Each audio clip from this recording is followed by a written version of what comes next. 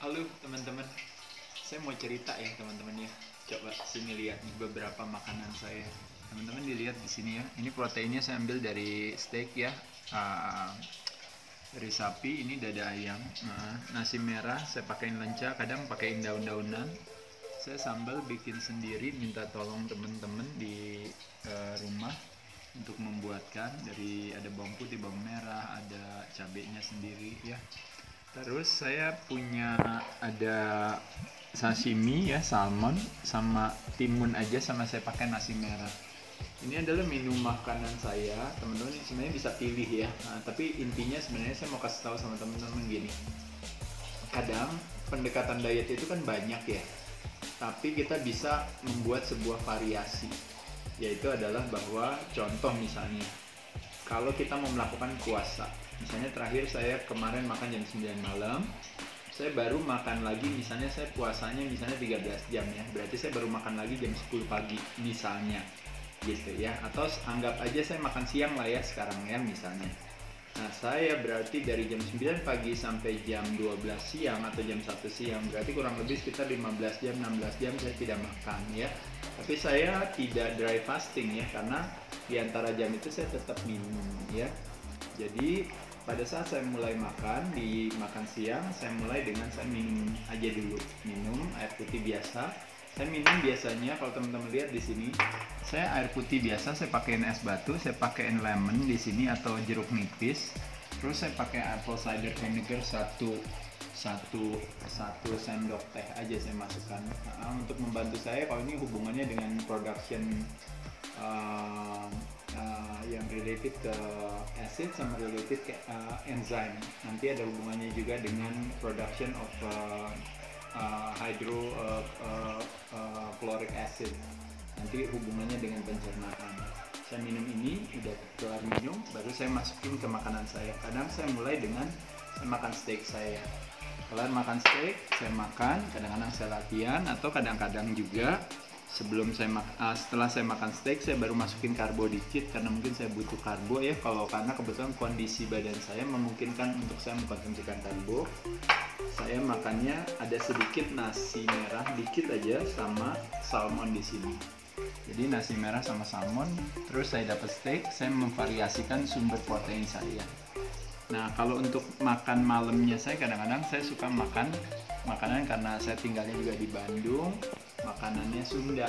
Kadang-kadang saya sering makan nasi merah, lalu saya pakai lenca, kadang ada daun-daunan, baru saya pakai dada ayam di sini. Kadang-kadang misalnya kalau teman-teman mau tambahin misalnya petai atau jengkol apa silahkan aja jadi serasa Sundanya lebih optimal.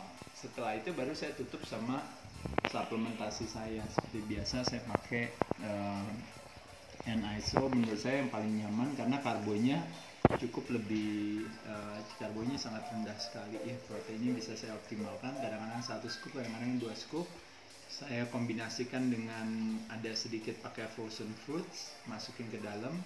Saya blend sama saya terima kasih sama NutriBullet seperti biasa yang membuat uh, blending suplemen saya bisa optimal. Jadi ini idealnya saja ya kalau teman-teman tahu. Jadi hanya sekedar sharing saja tapi kalau teman-teman bilang mas Ade kalau seandainya saya makannya cuma steaknya aja boleh gak nggak ada masalah bagus. Ya apalagi teman-teman yang ketogenics jadi steaknya sendiri ada proteinnya udah ada lemaknya is okay tinggal makannya sama sayur ya. Kalau seandainya saya mau makannya cuma ini aja nasi merah aja sama sashimi aja juga boleh juga. Kalau teman-teman bisa pakai salmon bisa pakai tuna juga nggak ada masalah.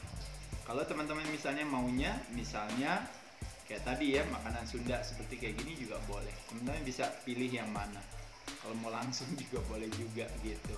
Satu hal mungkin yang memang unik adalah kembali lagi yang underrated kalau kita katakan underrated itu dalam arti kadang-kadang kita suka lupa adalah ke- eh, kebiasaan kita untuk selalu aktif setiap hari jangan pernah lupa teman-teman melakukan aktivitas pengencangan otot rangka itu sangat penting sekali karena nanti hubungannya dengan urusannya metabolisme di dalam tubuh hubungannya sama tangki gula hubungannya sama bakar gula hubungannya sama yang lain-lain termasuk juga endokrin sistem kita kita ngomongin hormonal dan sebagainya tapi yang mau saya bilangin jangan lupa proteinnya cukup latihan bebannya juga setiap hari. Nah setelah itu teman-teman silahkan membuat satu strategi dalam hal dietnya.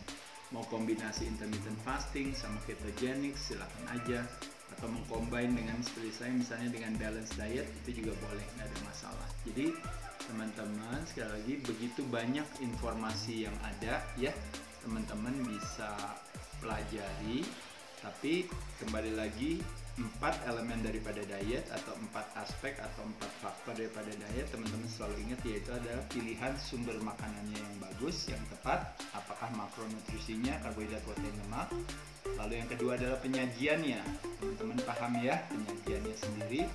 Yang ketiga yaitu adalah jadwal timingnya. Makanya tadi kenapa kalau terutama bicara uh, fasting kita berbicara timing yang tepat kapan? Setelah latihan atau sebelum latihan? Atau bahkan saya langsung latihan kelar latihan baru saya makan ya kalau teman-teman tahu ya di pagi hari dan yang terakhir adalah jumlah kalau kita berbicara kalori kembali lagi kebanyakan kalori akhirnya disimpan oleh tubuh ke tempat yang lain. Bukannya untuk kebutuhan selnya tapi akhirnya nanti berlebihan.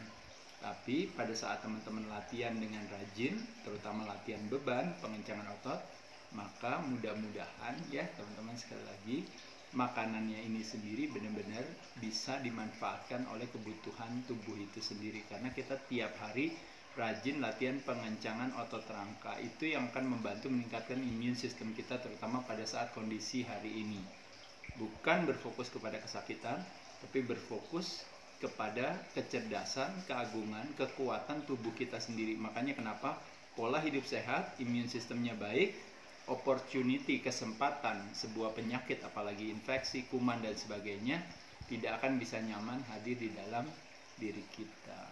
Kurang lebih itu teman-teman sekalian. Semoga bermanfaat ya adanya ya. Mudah-mudahan bisa jadi sedikit motivasi buat teman-teman untuk rajin berolahraga dan punya pola hidup yang sehat. Dadah.